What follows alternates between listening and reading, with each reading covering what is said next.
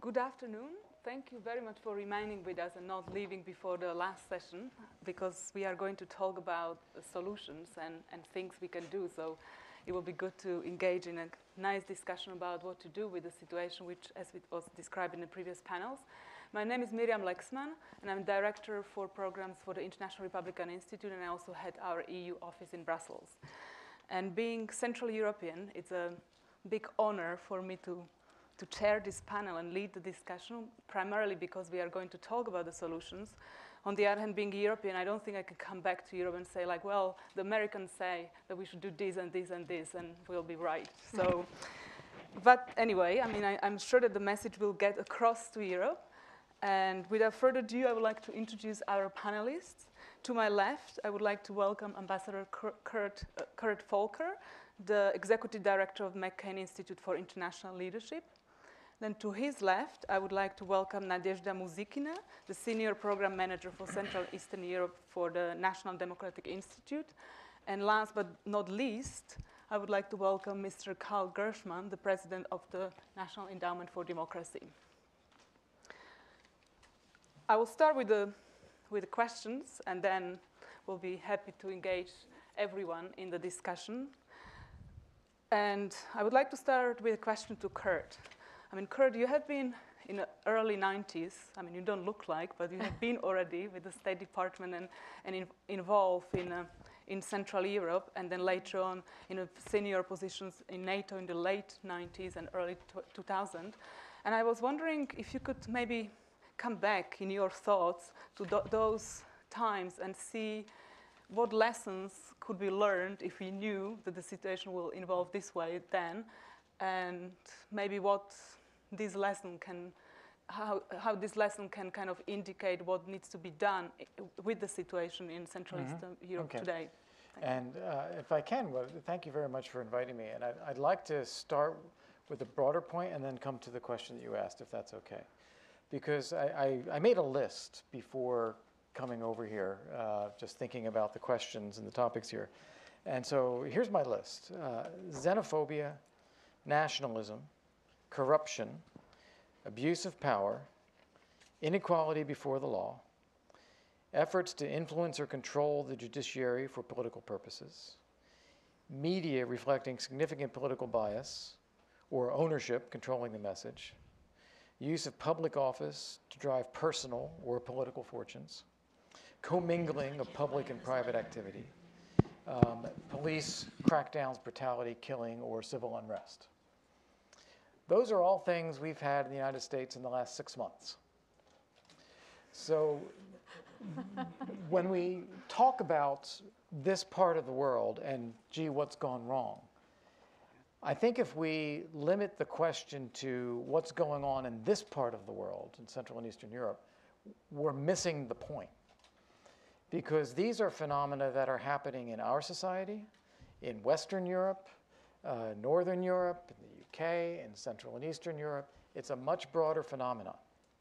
And it is certainly happening in these countries. I'm not suggesting that, gee, these aren't problems. But what I'm suggesting is the problem is different than saying there's something wrong with Central Europe.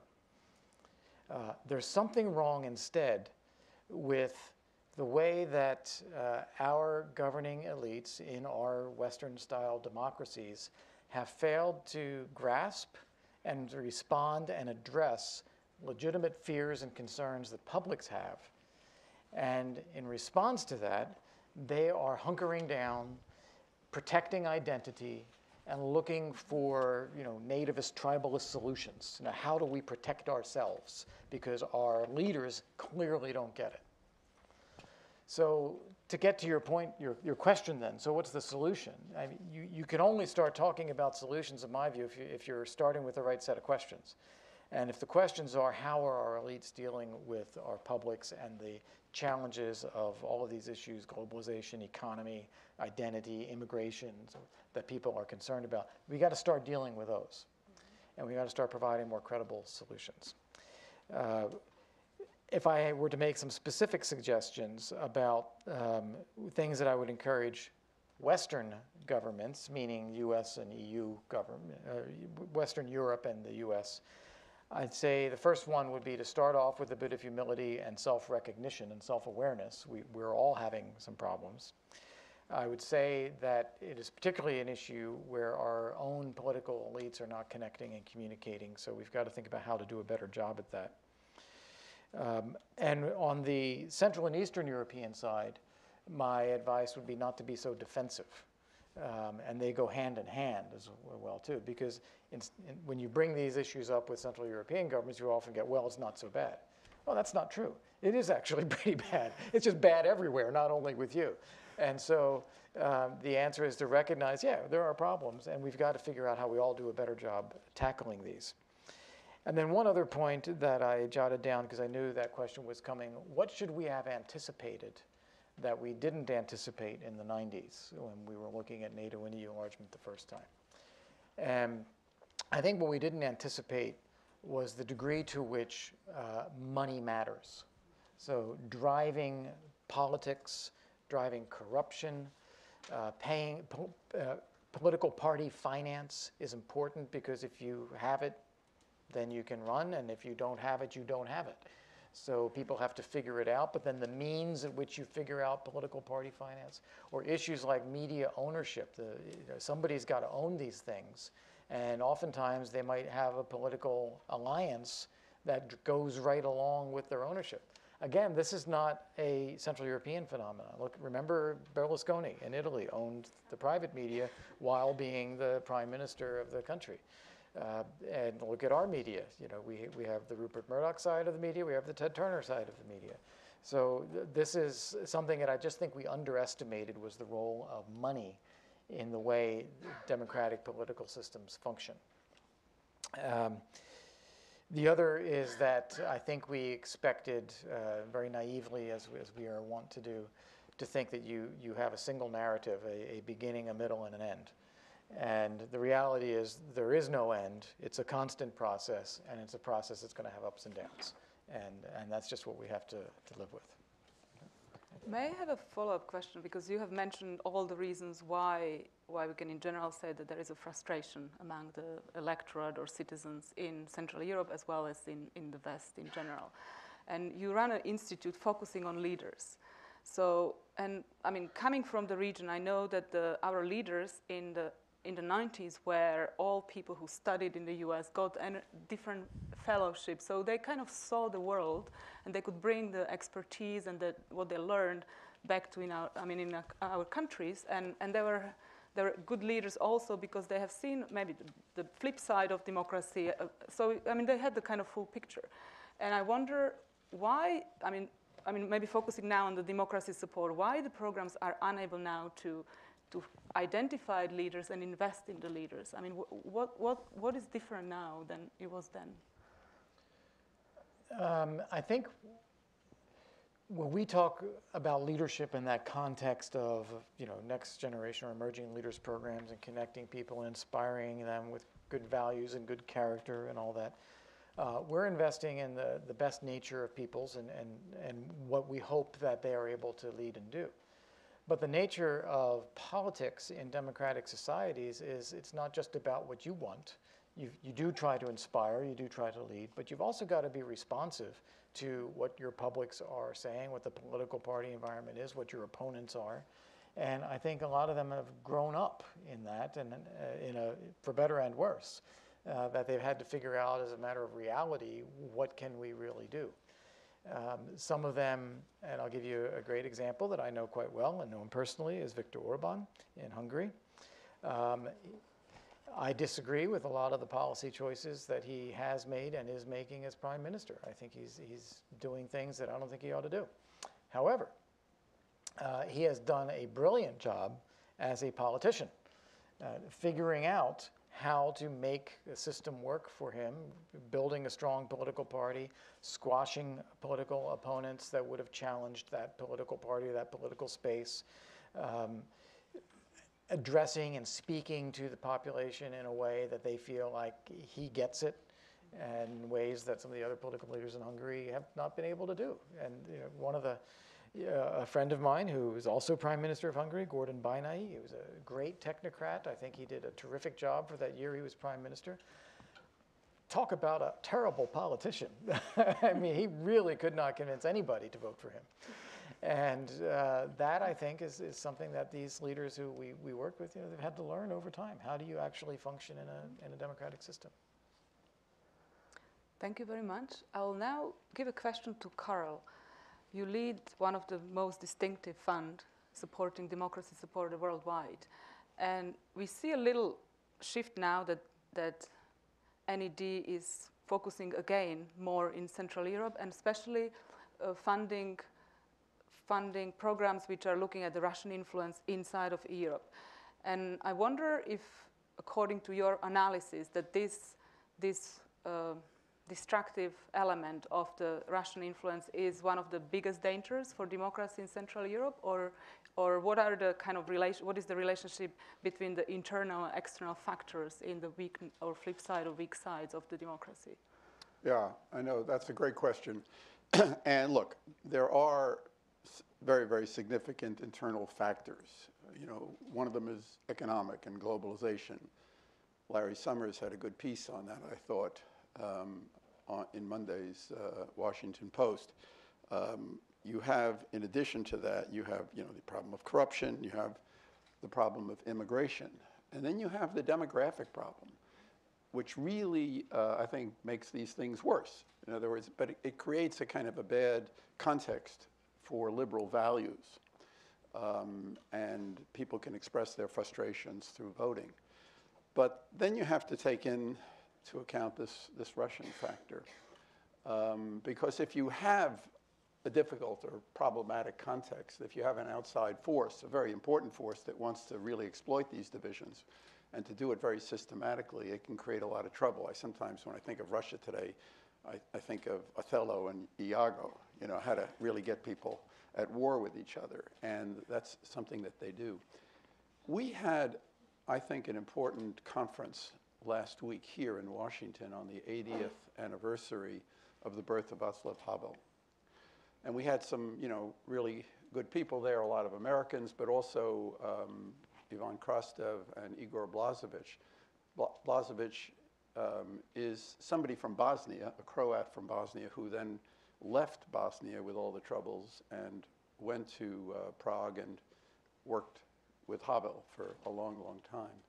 And he said something at that meeting which was very interesting to me and very troubling. He said that what he, he was in Burma for five years. Havel sent him to Burma to work with Burma. And when he returned to Prague, he said he saw in the environment, in the society, the same kind of aggressiveness that he saw in Bosnia in the early 90s. Now, where does that come from? He felt, and I think it's true when we talk about elites, that the, the elites have given the green light to a lot of people to go after minorities, to go after scapegoats. That's part of the problem that we face in Europe today. So I think, you know, when you look at these external and internal factors, you can't separate them. You can't separate them here, frankly. I won't go into that, but you can't separate them here um, because they're intimately connected with each other. And I think as we think about what's the problems and then the possible solutions. I don't think you can divorce the crisis that we have today from the broader geopolitical context, a context of growing Russian assertiveness and growing US retreat. That creates a very, very difficult context. The only other thing I would say is that in the, at the meeting we had last week, the common point that ran through the discussions was people's new realization of the deep fragility of democracy. And I think when you say, what didn't we anticipate in the early 90s, there was a kind of a triumphalist view of democracy, the end of history, the inevitability of democracy, and so forth. Even though, you know, people who read Huntington on the third wave knew that reverse waves follow waves. I mean, that's just the nature of it. Now, I don't know whether we're in a real reverse wave today we debate that. The conference actually debated it. You know, are we in a recession, like Larry Diamond says, or a real depression? I mean, that's a good question. You know, they were saying, and maybe I should say this, um, on a great day when Bob Dylan got the uh, Nobel Prize for, liter- for Literature, that one of the comments made, if, you know, if you're debating this, whether it's dark or darkening, it's not dark yet, but it's getting there. and uh, long live Dylan. Uh, but it, it's a, it's a time, you know, when, um, when people n- newly appreciate that liberal democracy is not inevitable, not the wave of the future. It's extremely difficult to build liberal democracy. And when you have problems such as you have today economic, globalization, immigration, demographics, and don't underestimate demographics, it's really critical to the mentality in Europe and the geopolitical context. Um, it's extremely hard to defend liberal values. And so going forward, this is what we have to think about. And one way to start thinking about this, I think, is for us here. You know, we have to get our own act together. We have to realize that our own democracies are in trouble. That was a common view that the homeland of democracy, the United States and Europe, is in trouble today. Okay, we have to recognize that. But we also have to start thinking seriously as adults in a mature way about the geopolitical context. And the idea of just being able to affirm values and principles without putting any meaningful uh, force and power behind it is ridiculous. And we have to start thinking about that and, and learning some lessons from the past period. Uh, we have been talking about in the previous panel. Someone has mentioned that that that, it's interesting that that the Central European countries, mainly I mean the EU member state from Central Eastern part of, of Europe, I mean they have profited, I mean grandly from being member of the EU. But the EU is unable to communicate this to them as well, that their leaders are having two different messages. I mean, at, at home, they're putting all the blame on Europe, so people practically do not know what Europe has brought or EU has brought to, these, to their daily lives, and then they see only the negative parts. And I wonder if, if you, I mean, and we also know at the same time that social media, where, I mean, most of the people and more and more people are getting all the information from social media, not from the mainstream media. We, where the kind of geopolitical war, I would say, that is more extensive. I mean, you have people in Slovakia dealing with, with problems in Syria and discussing, I mean, Russia and US in Syria, instead of discussing their ordinary lives because they are so frustrated. They don't know what solution is to their future, to their job, and they, the, the whole situation is so complex so they, they kind of discuss something which they can not influence at all or very, very little influence over. And I wonder, what, what do you believe, what, what should be the messaging or what should be do differently that people do understand that we are on the winning side? I mean, that, that, that being part of the West is the being part of the best part of the world and not the, the worst part, as many people have this, this in, impression. I mean, the, the polling in the US and in Europe is showing that people are still believing that the crisis is still on, that we, we are not, that the numbers, and the economic numbers are not improving, and, and the reality is different. So, what, where are we failing to communicate this to, to the people? What do you believe? Well, like one of the points that Krastev was making, that if the European Union is seen as um, an institution to defend the interests of the elites, it's going to be in deep trouble and it won't survive. In other words, and this goes for our country as well as Europe, and this is one of the points of Summer's, I thought, rather interesting piece on Monday is that we have to shift our thinking on these issues from thinking about capital and austerity measures and so forth to uh, thinking about workers, labor, investment, uh, how to, you know, create jobs and really show that this is the, uh, the focal point um, of policy.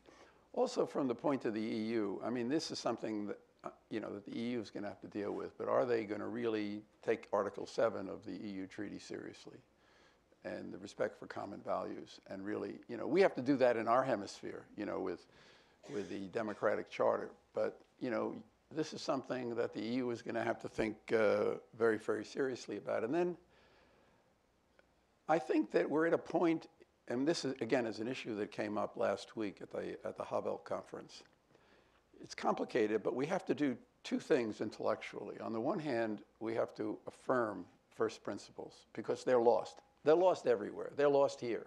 Nobody talks about what we're about as a country anymore, what we stand for, uh, universal values and so forth. And it's necessary to affirm first principles and to do it, but to do it in a way that addresses contemporary issues and problems. I mean, the first principles don't change, but the context changes, and you now have issues of globalization and alienation and elites and so forth. And we're going to have to think about how to do that. And we've been toying with an idea that I think is important to, uh, you know, we're, we're, discussing it with people, uh, but it's important, I think, to go forward. And that is maybe, uh, it's more than a transatlantic idea, it's a global idea, but to um, re recreate a global association of people who think about these issues, like the old Congress for Cultural Freedom, and call it something like the Congress for Democratic Renewal. But people are going to have to come together, think, and, and have a forum where people can really think hard about um, how to project a new perspective and just don't rely upon you know the past, but project a new perspective, but a perspective that is based upon fundamental first principles that need to be reaffirmed and that everyone here and in Europe seems to have forgotten. Hmm.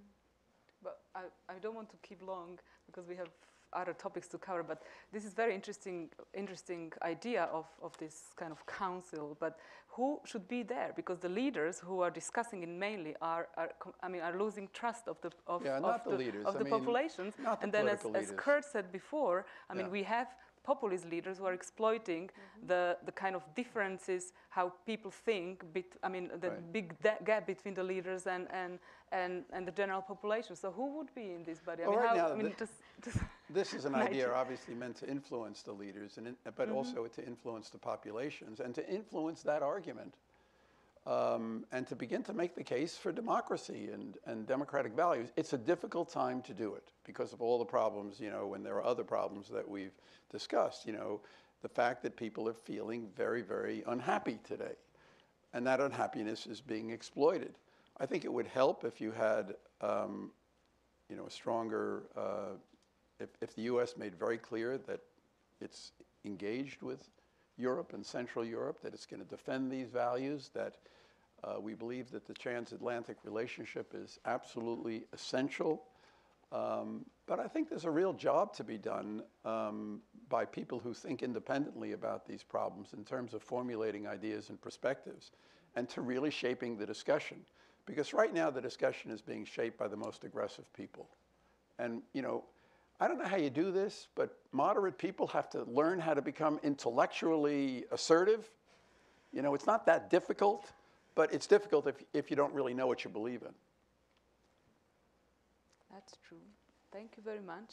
Nadia, uh, without, I mean, I think we, we understand the large context and, and you work with, uh, mainly with civil society and political parties in Central Eastern mm -hmm. Europe.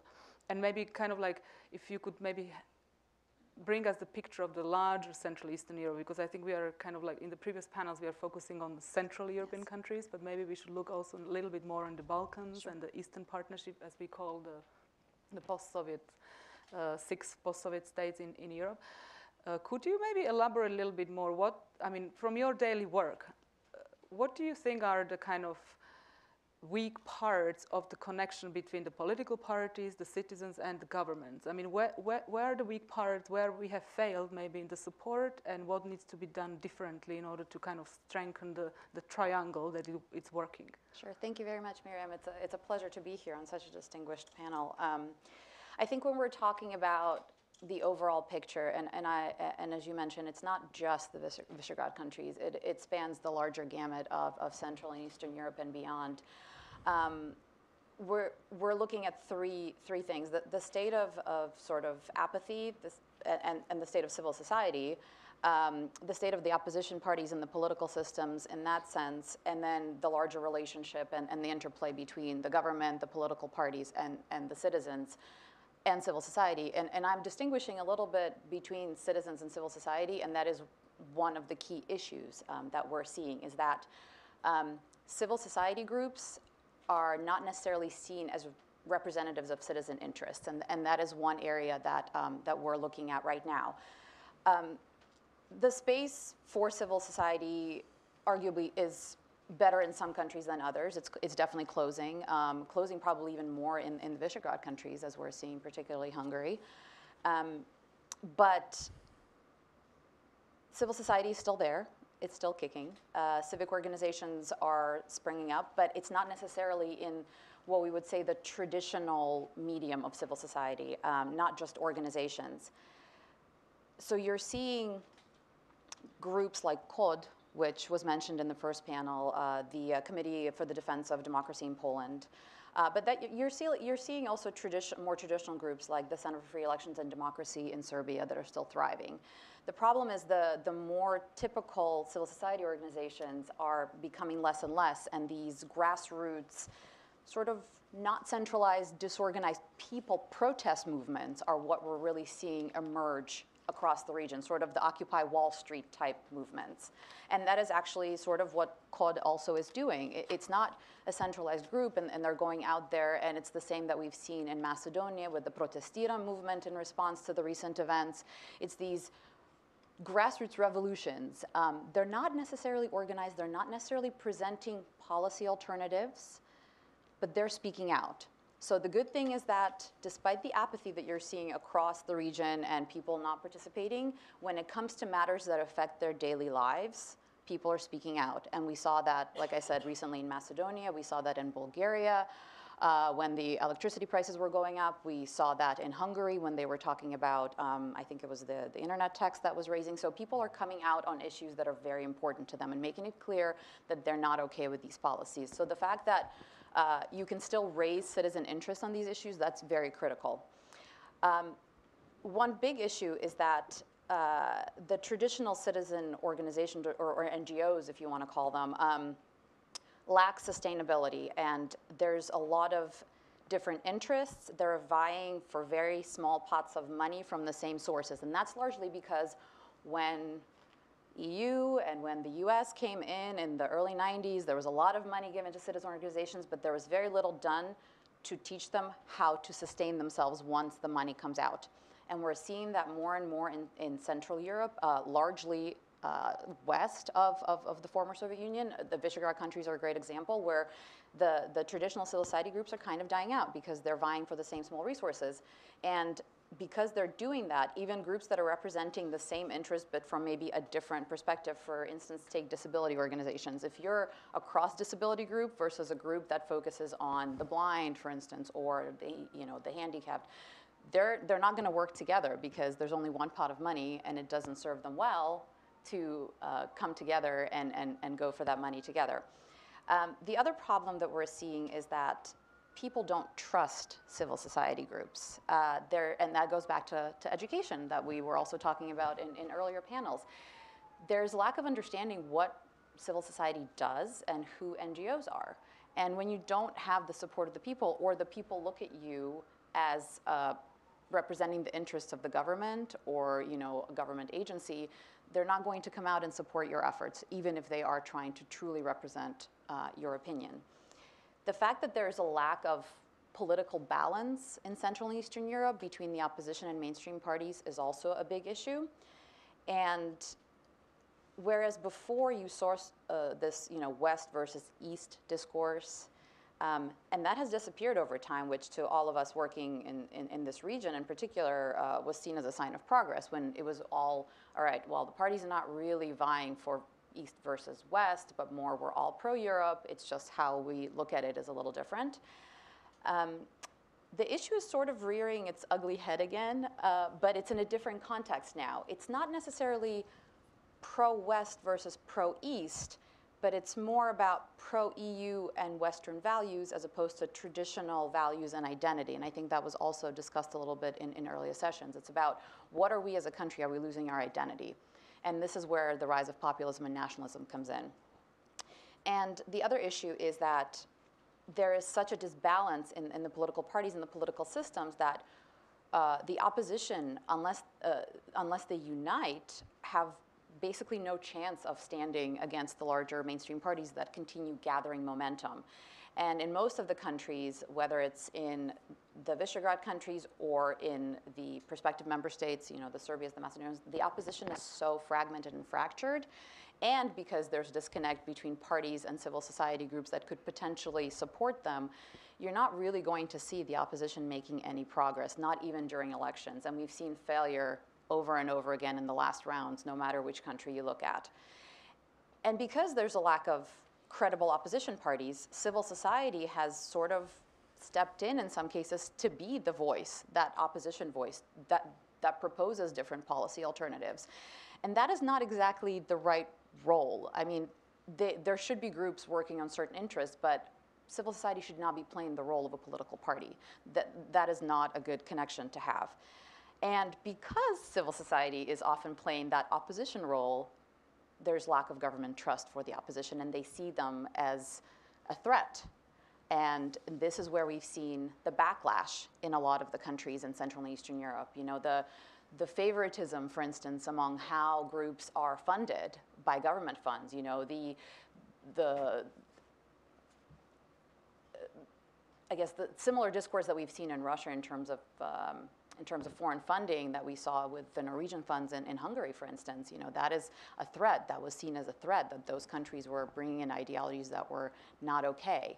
Um, and so I think there's a lot of different channels that are going that we need to be studying closely because whereas we were training for many years your standard traditional NGOs, but without sustainability, without support, and without um, a good political system that allows opposition parties to also rise up and provide policy alternatives and connection between opposition parties and civil society groups in fighting for the same uh, values, um, you're gonna you're gonna have a lot of problems. But on a positive note, as I said, you are seeing a resurgence of citizen interest, and I think that is really important to capitalize on. Mm -hmm. Thank you very much. I will, I will elaborate a little bit more on the political parties issues because I mean, being in Brussels and engaging with the European support to democracy, I mean, we're always discussing the support to political parties because it's mainly US donors working with political parties and the EU donors are mainly focusing on civil society mm -hmm. and then kind of saying like, yes, maybe we should start to work with the parties, but they, they're so weak, they don't do anything and they are so fragmented, so it, it makes no point. And, and the argument is it actually makes point because, the, because then the NGOs cannot run, so right. obviously it's an vicious yeah. circle. I mean, the parties will remain weak and weak vis-a-vis the civil society, mm -hmm. the NGOs, which kind of creates lots of lots of uh, tensions or imbalance in the society, which inevitably doesn't lead into a kind of strong and healthy democracy. So this is, I mean, I believe as well that, that the support to political parties in Ukraine, in Moldova, in the Balkans, it's absolutely vital absolutely. for having a healthy relationship between the NGOs and the political parties, and then vis-a-vis -vis governments as, as well. But I would like to ask you and, and all of you, well, one element you, you Nadia, has, have mentioned is the, because you said that, that it looks like from the, from the citizens' point of view that their traditional values are being attacked or that there is a tension between their traditional values and the EU institutions mm -hmm. and the West. Mm -hmm. And I, I believe that this is one of the kind, one of the uh, deepest um, gap in our democracy and, and I think we actually have a problem to close this gap. And, and, and, it's, and we don't talk about it because we have the liberal circles. I mean, I mean socially liberal because the Europeans are using this word in a different way. Uh, we have the socially liberal circles and, and, and, and socially conservative circles. And I, I think that, I mean, they less and less talk to each other. And, and, and I also believe that this is one of the deepest gaps Russia is exploiting. Uh, working with, with the socially conservative people, I mean, addressing them directly, having lots of organizations they support. But then the question is, how do we, I mean, how can we, how can the West still support the civil society when, when obviously, I mean, the different donors have different opinions on this, and then it's very clearly, I mean, it, it, it brings these tensions into the society and the kind of imbalance in the society because in, this, in, in Slovakia, in Czech Republic, in Moldova, they know that where the donor stands on, on these issues more or less. Mm -hmm. So that's why, I mean, it creates lots of tensions and also, I mean, we can, we can ask the questions like we don't like Russians uh, supporting NGOs and, and infrastructure or businesses in our part of the world. So how do we justify our interventions in, in these in democracies and in, in Central Eastern Europe. And, and maybe I will bring one more element into this question is the social media. Because with social media, we can accelerate or, or an activity of a small group of people can be really accelerated in such great extent that it can change the political balance in the country. So practically that also gives the donors enormous power to influence uh, the political structures in a, thank you, I'm losing everything. The political structures, influence the political structures in, in, a, in a small stage where, states where, where even small money can, can have a large influence. So how do we justify our, our support to democracy and then, then we are not creating deeper uh, gaps, but we are actually putting the society more together and, and creating healthy relationships? Um, if I may, uh, I think one of the ways that we've seen um, some success is by bringing all the, uh, all the key players together. What I mean by that is by bringing the human rights groups, the uh, pro-economy or economic expansion groups, the political parties, the government institution, everyone together to understand what their interests are. Because there's such a disconnect you know there's uh, civil society is often looking at the political space as something they don't want to answer, uh, enter but that is the the opposite of what we need them to do because if you're a true advocate you're going to need to advocate for your interests in the political space.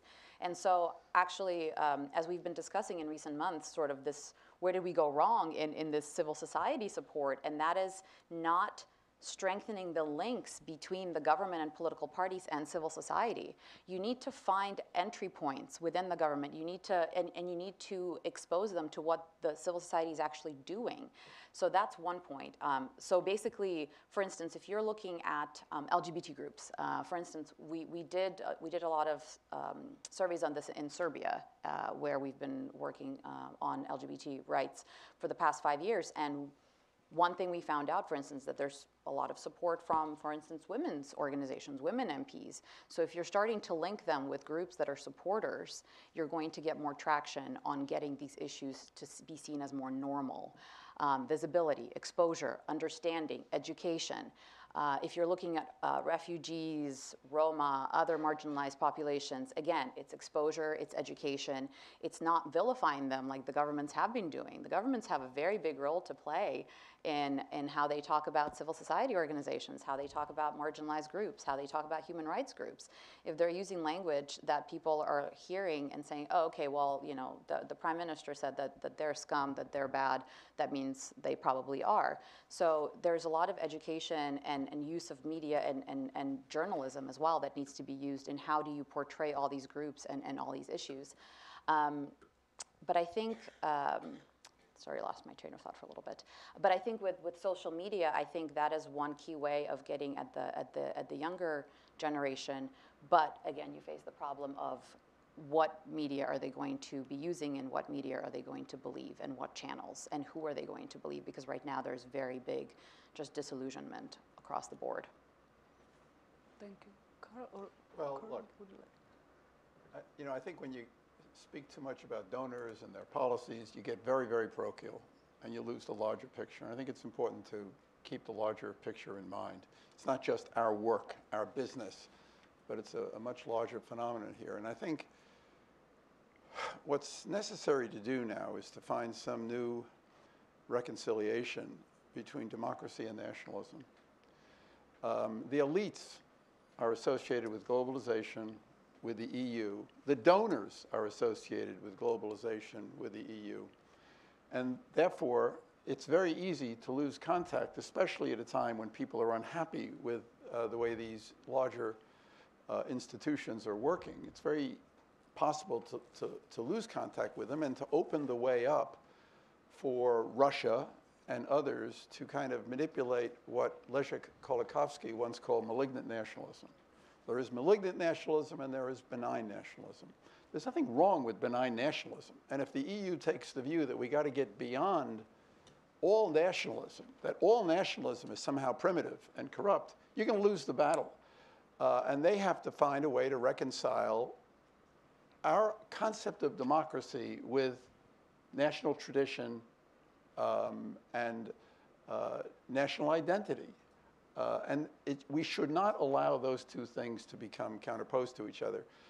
There's a uh, Georgian intellectual by the name of Ghia Nodia, who is now a fellow at NED in Washington, and I let you know that in a month he's going to be giving the Seymour Martin Lipset Democracy Lecture on the issue of the crisis of post-nationalism, which we're in today. In other words, people said nationalism was going to disappear with all these modern forces, but it hasn't.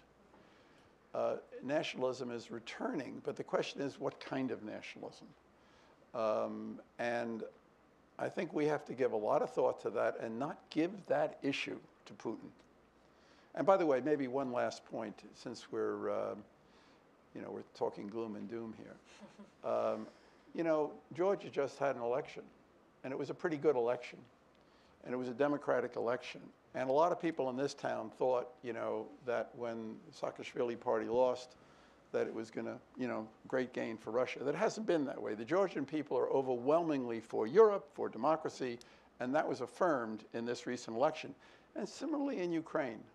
We just had a program officer who returned from Mariupol.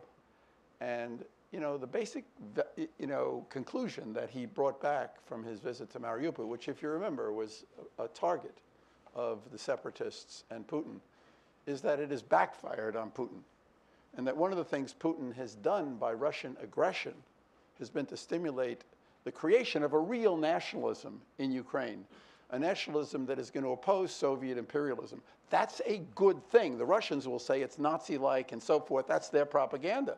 But let us affirm these values and not give in to uh, the Putin propaganda. If I can add a couple thoughts on this. Um, one of them is there's a, oftentimes, a presumption in the question that you asked that there's this gap between the uh, the liberal democratic elites and the values espoused by people and what populations are responding to. And therefore, the populations have to be educated and have to change. And I think we have to actually flip it and say, wait a second, maybe the elites are actually a minority uh, maybe they're actually leading edge on some of these issues as opposed to where the majority of the public attitudes are, and maybe they need to change a bit.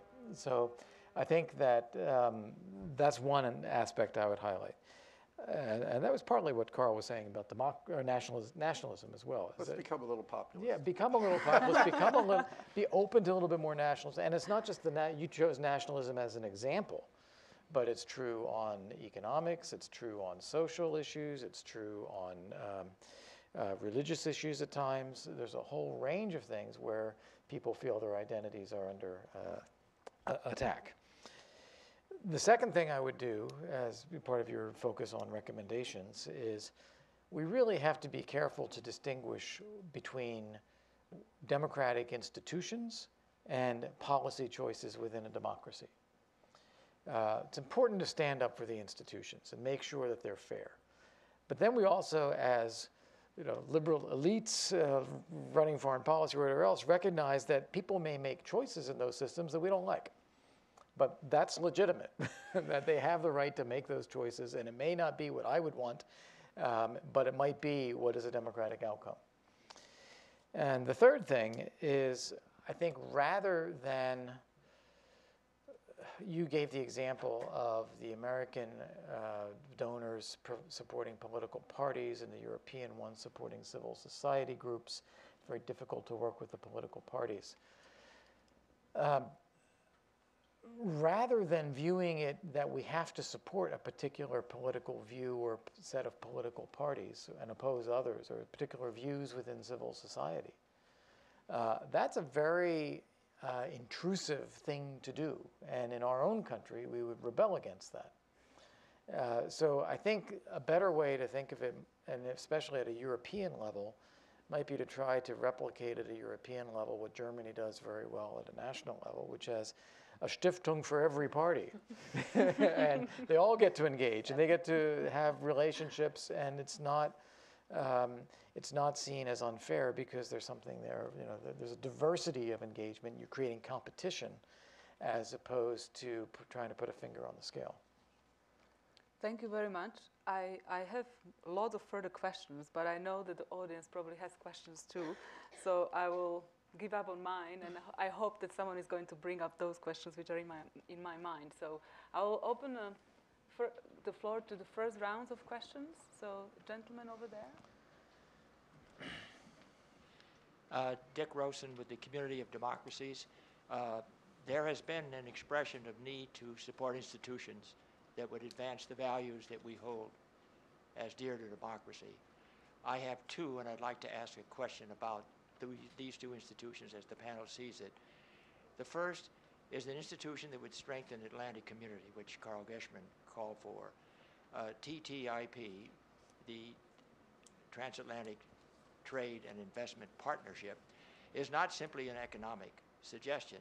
It is an organization which, if created, would provide a greater political unity and could be also a voice for jobs and growth, which have been essential in the discussions we had earlier.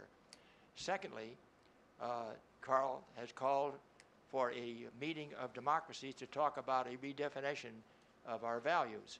There is an institution uh, which was mentioned by Madeleine Albright at the NED meeting, the Community of Democracies, which she conceived in the year 2000. Is that organization another that could be revitalized and could be used to help redefine the values that we stand for uh, in democracy? Thank you very much. Uh, maybe we can pick up a few questions, and then I will give the floor to all panelists to respond. So there was another gentleman just next. Uh, I'd like to comment and to Franak Viačorka, Radio for Europe. I'd like to comment and to ask question. Uh, first comment was about nationalism. Actually, I really, really impressed what Carl Gershman said because uh, a few years ago uh, we had discussion with net people, you know, about nationalism, and American um, uh, donors, they usually were afraid of nationalism as a Eurosceptical, anti-democratic. But now we have seen that nationalism in Russia, Hungary, and Poland, it's absolutely different thing uh, than nationalism in Ukraine or Belarus. Because in Belarus or Ukraine, nationalism is very inclusive, usually inclusive, pro-European, and it works like, uh, as antidote to neo-imperialism. And for example, now this re revival of civil society, it happens thankful to these national identity feelings. But my question is uh, about, um, uh, you know, this concept of sons, sons of the beach. Uh, you know, uh, the Western uh, countries, they believe that, you know, facing Russian invasion to Ukraine, neo-imperialism, you know, Putin's uh, power, uh, Putin's power, they started to cooperate or to find a way to cooperate with dictators. Azerbaijan, Lukashenko in Belarus, other countries. So the question is, does this concept um, uh, really exist? And does it work? You know, so yes, he is a son of a bitch, but he is our son of a bitch. That's a question. Thank you very much. Is there a third question, or we will? Yes. Thank you. Um, I heard a lot about um, speaking about uh, traditional values uh, in this panel. Uh, my question is do you agree or disagree, or do you think that there are differences, big differences, or big similarities between the traditional values in this region, the Central uh, Eastern European region, in comparison to the Western uh, part? And I would like to ask also a question, maybe somebody can comment here on the role of the religious institutions playing uh, uh, in this process of civil society uh, building, just considering that there's a difference in values, religious values, religious ideologies in the region. Thank you. Thank you very much. So we have three themes, TTIP, uh, nationalism and our leader versus their leader, and traditional values and religious institutions. So who would like to address at least, uh, you don't need to address all the questions, but at least some of them. You, Well, I'm a liberal on- leader, on you can TTIP, pick up which look, one you want. uh, This is an idea that's in trouble today, but um, uh, I think that working on, in, in, you know, working on trade agreements today, you've got to show that those agreements can work for common people. And just don't assume that the rising tide lifts everybody. It has to be focused, and there are, have to work in provisions that can really, you know, defend people against dumping, defend people against all the things that they feel are affecting their jobs. On the uh, community of democracies, um, I wasn't calling for an association of democracies. I was calling for an association of thinkers and intellectuals and people of ideas. Um, the community of democracies has existed for 16 years, where it has, you know, had it's an association of governments. It's had difficulty projecting strong points of view because of the need for consensus. Um, we're now working with the community and creating a new parliamentary coalition of the community, which I think will, because it's parliaments and not governments, it'll be a coalition. I think can begin to take more uh, associated with the community, but not speaking for the community, can take more forceful, uh, can take more forceful positions. On the question about, you know, Putin, I'll call him Putin and not son of a bitch for uh, using your words.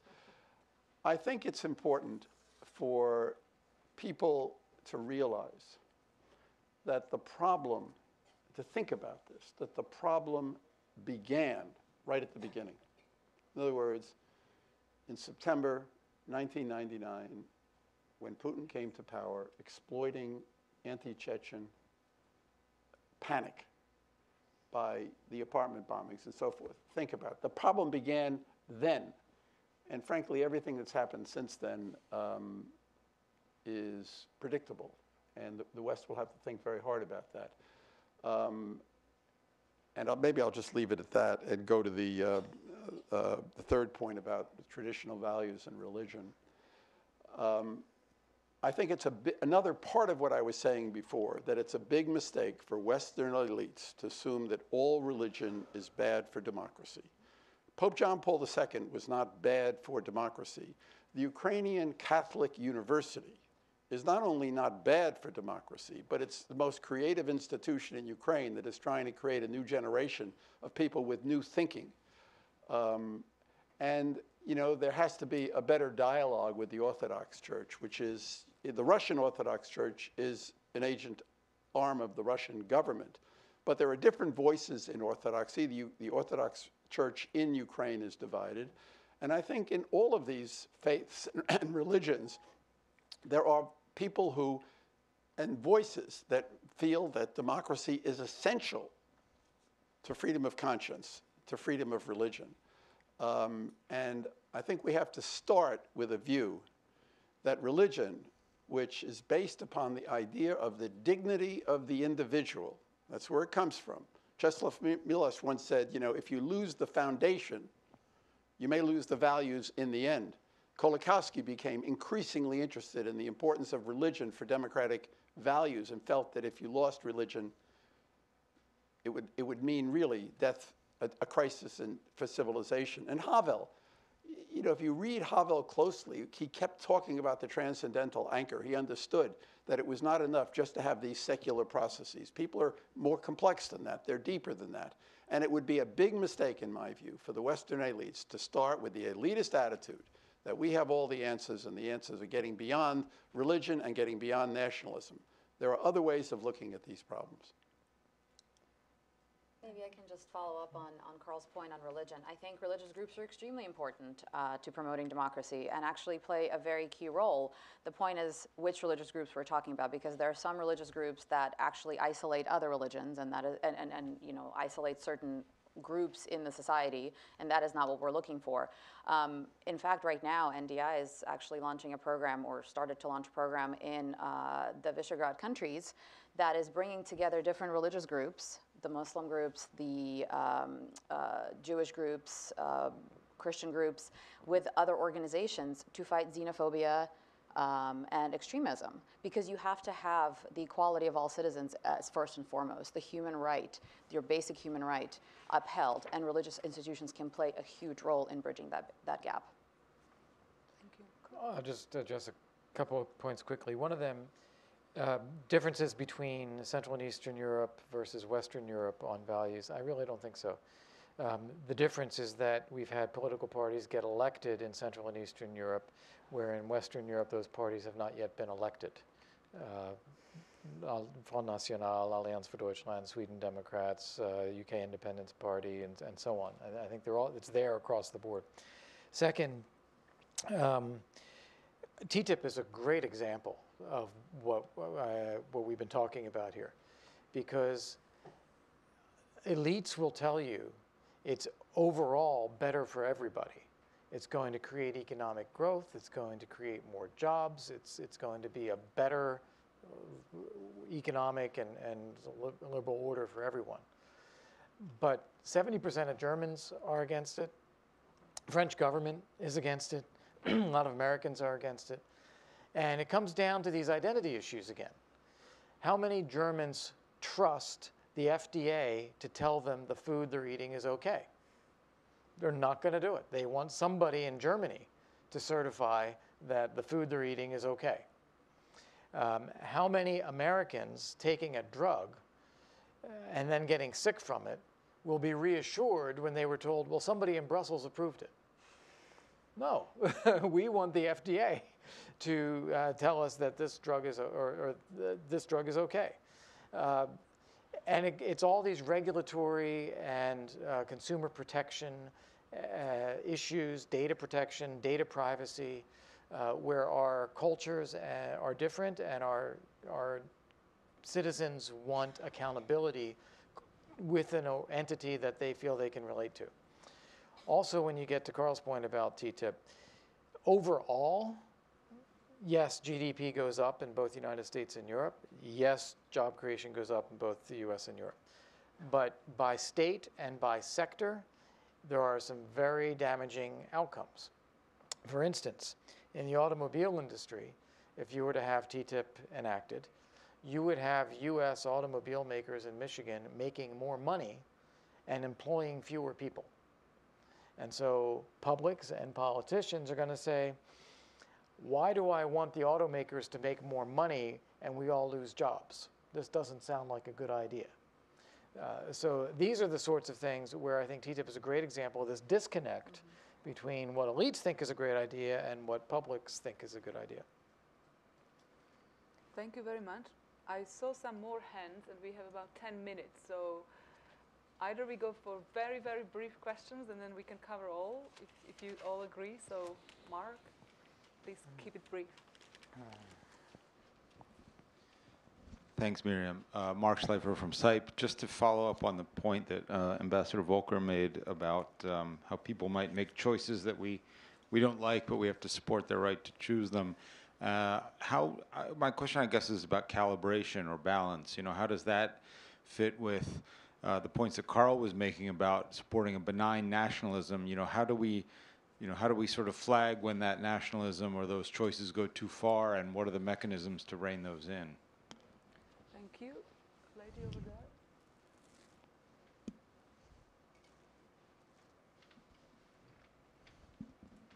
Hello, I'm Vanilla from St. Petersburg State University. I have a question for uh, maybe Nadezhda Muzkina.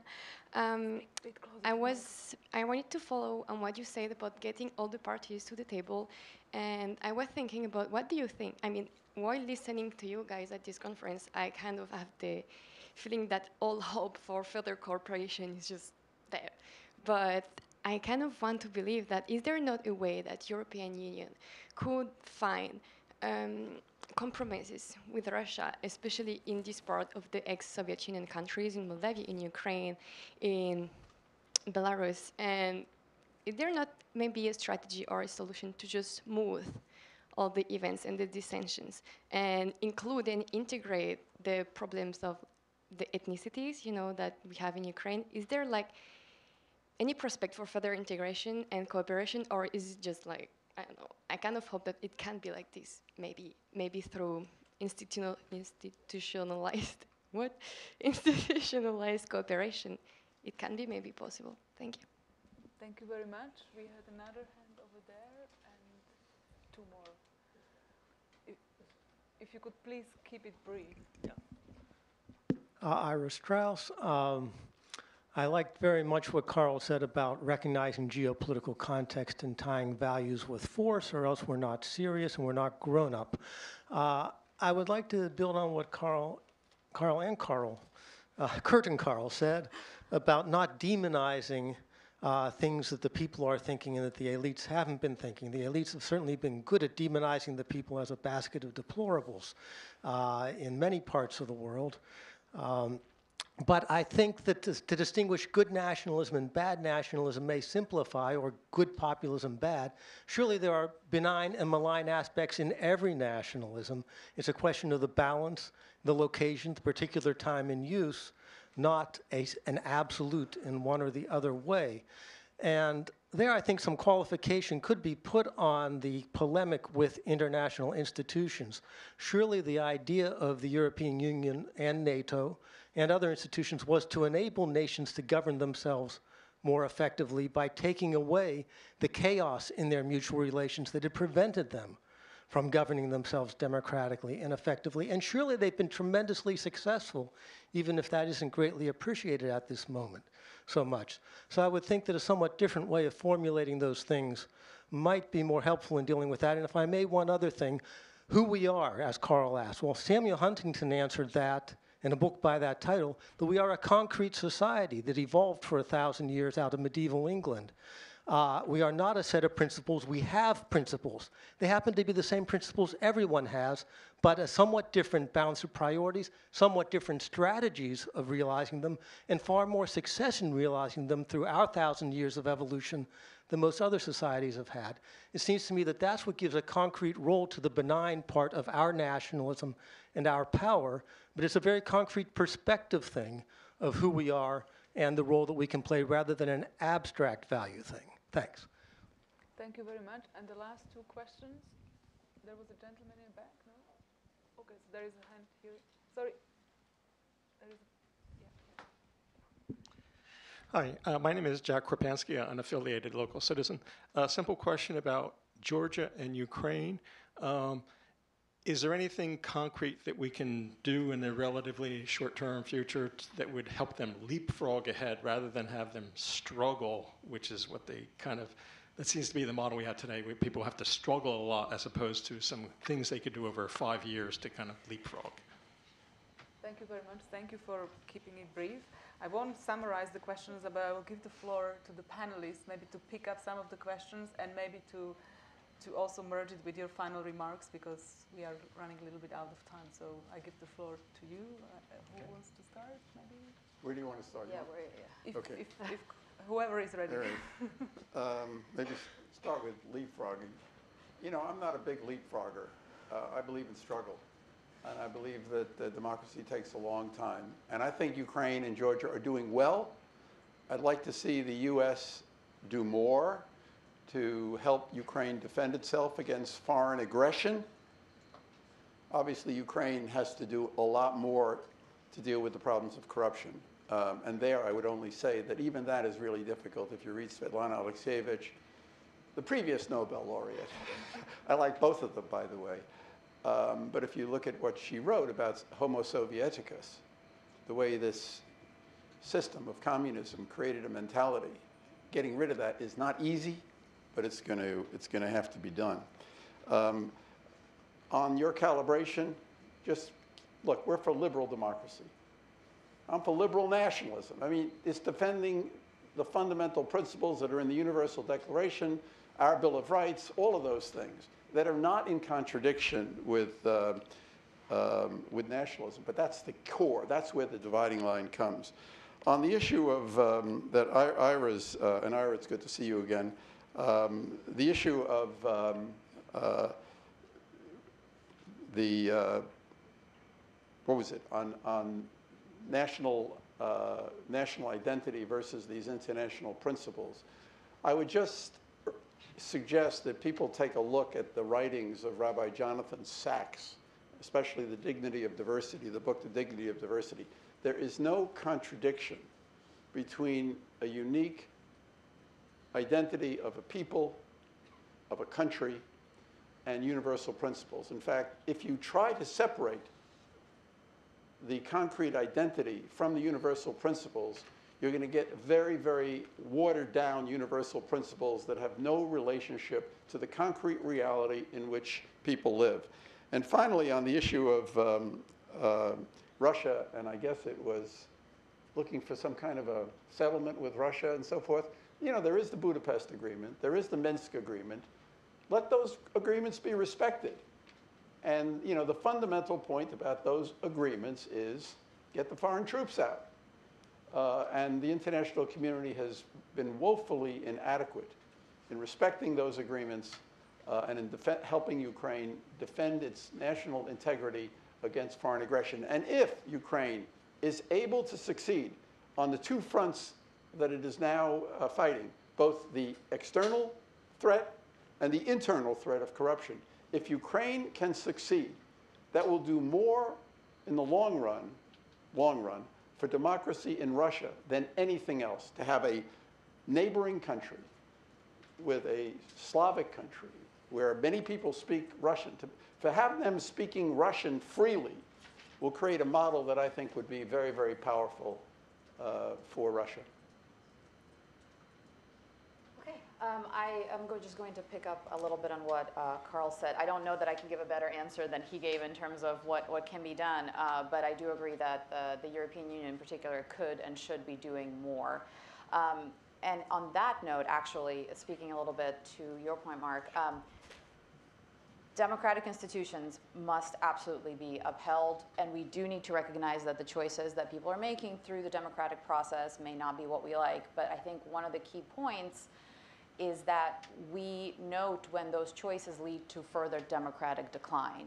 You know, using democratic power to get into the government, you know, democratic elections and such, but then changing constitutions, uh, almost unilaterally changing how the court systems work and undermining democracy in that way through democratic institutions should only be tolerated so far. And that is really setting a horrible precedent what's happening in the in the Visegrad countries in particular um, and, and in the West because if you're looking at the aspirants, if you're looking at the Serbias, the Macedonias, the Bosnias, they're now looking at okay, well, you know, if we're on the EU path, we're going to check off all the boxes like all those countries did before us, but we're going to look at what can we get away with, you know, because once, you know, we see that once we're in the EU, we're just going to get our hands slapped if we might just do something wrong because there's no actual, you know, enforcement of anything once, uh, seemingly, once you're in the EU if you're looking from outside the European Union. So what's the incentive?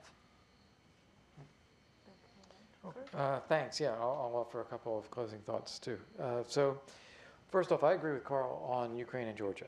Uh, I don't think there's a magic leapfrog.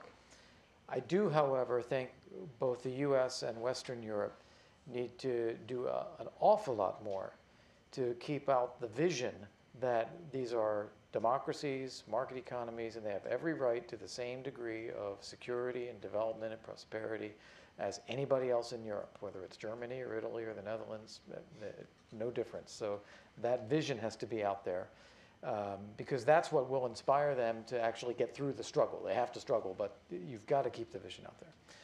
The um, second thing I would say, and it touches on a lot of the other questions, it's important, you know, how do you draw the distinction between, you know, when nationalism goes too far or when something else goes too far? It's got to be what you said, protecting the institutions. That institutions have to guarantee rights of majorities and minorities. You have to institutionalize respect within society and equality before the law. Those things need to be protected. Then people can argue and compete and have really nasty, ugly, awful free speech. but you, you, you create these institutional uh, legal protections. And I wanted to come back to a question from the previous round that I um, wanted to address, in the SOB question. Um, I understood the question slightly differently than Carl did. Uh, the way I understood it is are we pushing countries so much on democracy and not willing to deal with countries that may not be democracies, but that we ought to be dealing with because there are big, important strategic interests in doing that? And the answer, I think, is yes. Uh, I think that, and I'll get, I'll, um, um, I, I, wanna, I don't want to name the country, but uh, let's take an example of a country I have in mind, which is we have uh, a country that has gone the wrong direction on democracy. They've cracked down on political opponents. They've arrested journalists. Um, they are really not responding to complaints from the United States or the EU about their performance on democracy issues. From inside the perspective of that country, It is, we are alone. We have bad neighbor X, we have bad neighbor Y, we have bad neighborhood, uh, we have domestic problems, and we would, we think that we can offer a really valuable strategic partnership with Europe and the United States, but nobody seems to care. And so we're, we're digging in. We've got to protect ourselves. I would argue that in that situation, the position of the US and Europe ought to be you are a strategically important country. We do want to work with you. We can be a counterbalance to your bad neighbors that try to influence you. And if we did that, it would be a lot more successful engaging them about their democratic performance as well. But without that strategic engagement, we're actually failing to, to get into the game and talking about democracy. I have nothing against friendly tyrants. Engaging with them. Thank you very much. Thank you for all the questions. Thank you for your answers, and thank you for all the thoughts we have you have shared with us. I hope that I am bringing a lot to Europe, and I hope that everybody is bringing a lot to your jobs where you can maybe help to support democracy in Europe and in the United States. We are we are waiting a big decision in the United States about the future of the United States and the world. So the Europe is also watching you. and that, before I ask you to, to thanks to our panelists, I would like to in invite Ambassador Mark Green, the president of the International Republican Institute, to give his final comments.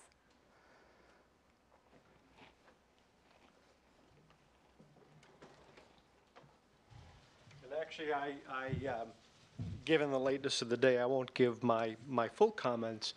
But um, I, I'd like to respond to the richness of the discussion that we've had. It's been uplifting in so many ways, different points of view, and that really is uh, what it's all about. And of course, we're very thankful to the Atlantic Council for hosting us here and fostering this discussion.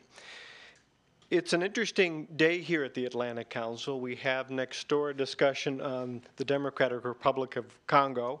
I came from a discussion on the Middle East, and of course, we've had this wonderful day long conference on Central and Eastern Europe and the illiberal turn of democracy.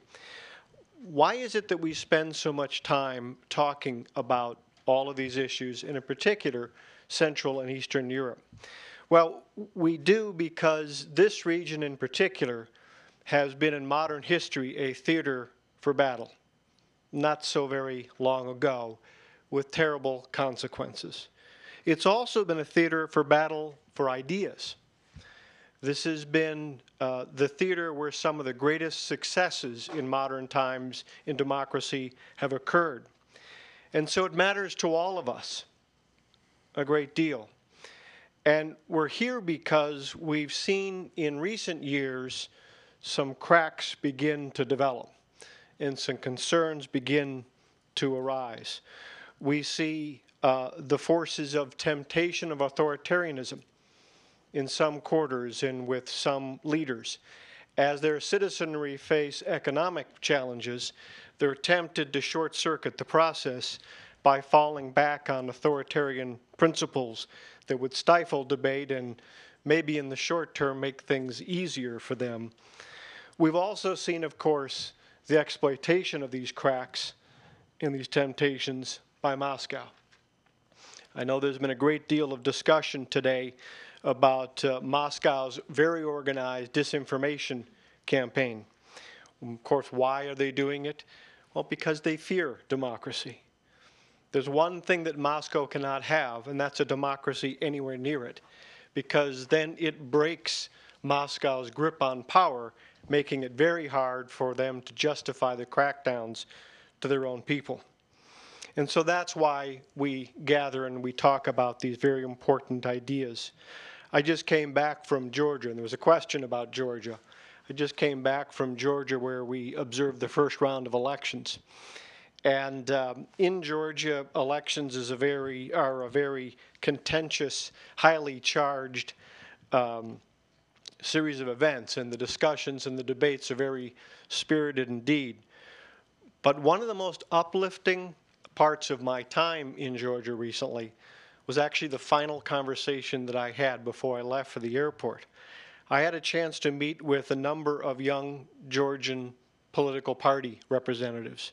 And these were individuals, most of them were recent university graduates, and they knew each other in university, and yet they represented different parties, different approaches in a very, again, highly charged atmosphere.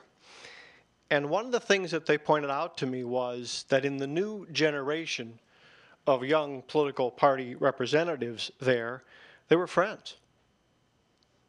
They talked to each other all the time. In fact, even on election day, while there were protests and threats of protests in other places, these young people were talking to each other and talking about the elections, but also um, reinforcing friendships. And so to me, that's the high note for this region. There are challenges. And we understand that it's not simply the challenges from within, but challenges from within that are being exploited from without. But there is plenty of reason for optimism, and there's plenty of reason for hope, and I see it in that young generation. And so the question, I think, for all of us gathered here today is what can we do as friends of Europe, of friends of democracy, what can we do to reach out and magnify these cross party friendships?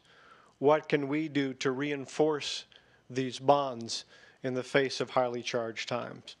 So that's, that's the mission for all of us. Thank you. Thanks for coming. And again, thanks to the Atlantic Council and the National Endowment for Democracy. Thanks.